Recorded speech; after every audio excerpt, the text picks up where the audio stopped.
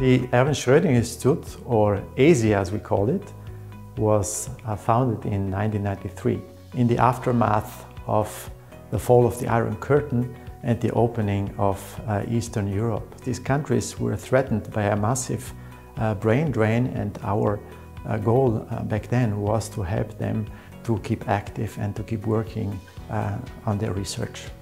Since then, the scope of the ESI has widened and it now includes all of mathematics and physics.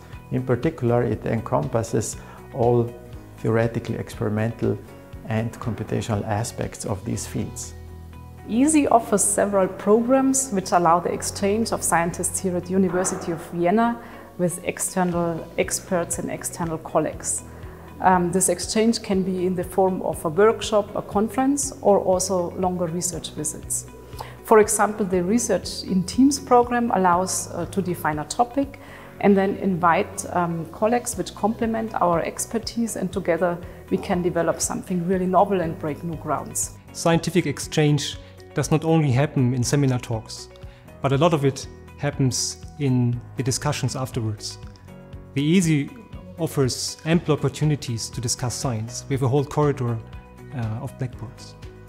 You know, the Erwin Schrödinger Institute have the power to attract very good speakers, very good scientists, I put them together in a room. And I was privileged enough to participate on this and present my results and my work to the most relevant people in my field. And that really made a difference for me because it was the first time that people start knowing myself and you know it was really important for a young researcher to talk to other people in the community. And this is where the Schrödinger Institute plays an important role because by organizing uh, programs and workshops, one secures leading experts coming to Vienna for an extended period of time and therefore faculty members, but especially younger people, can meet with leading personalities and not only meet them but have discussions, listen to talks and even starting conversations and this is an invaluable help as shown over the last 30 years and I can only wish that the activity can continue and even be enhanced. Well, my career benefited a lot from the It's here at the ESI that I got uh, the first opportunity uh, to organize uh, an international workshop. And at that time I was still a postdoc, so for me it was really a great chance to like plan an, an international event with many people coming from all over the world. And I remember this as a week where I could talk to really like uh, many different people and exchange a lot of ideas and uh, set up basically a lot of collaboration plans. In general, it's very interesting to participate in programs in the institution like ESI because um, I'm interested in some narrow uh, field of geometry.